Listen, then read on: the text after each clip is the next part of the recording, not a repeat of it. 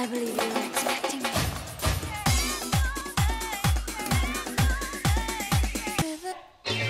Oh my gosh, Kate the coach! Uh, Brenda, looking beautiful as always. Derek! Well, I've been working hard to reach the target. So wanna keep on for a day to down to market. I'm gonna blow the lot tomorrow and all my family. We catch the coach eight, so don't be late, we're off to see the sea. Hurry up, will you, Grandad? Come on, we're going down to Margate. Don't forget your buckets and spades and pots and all.